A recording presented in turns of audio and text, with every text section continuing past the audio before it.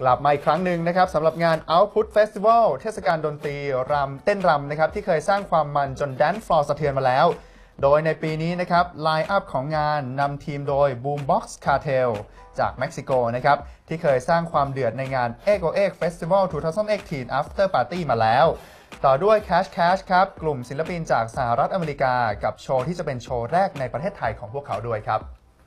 ส่วนศิลปินที่จะมาโชว์เป็นครั้งแรกในไทยอีกคนนึงนะคะก็คือ The Him คู่หูศิลปินชาวดัชที่มีผลงานเพลงกับค่ายดังอย่าง Spinnin' Records และ Hexagon ส่วนสาย House และ Future House เตรียมโชว์สเต็ปกันไว้ให้ดีนะคะกับกลุ่มศิลปินสุดมันอย่าง NGHTMRE and Slander Presents Gud Vibrations ค่ะ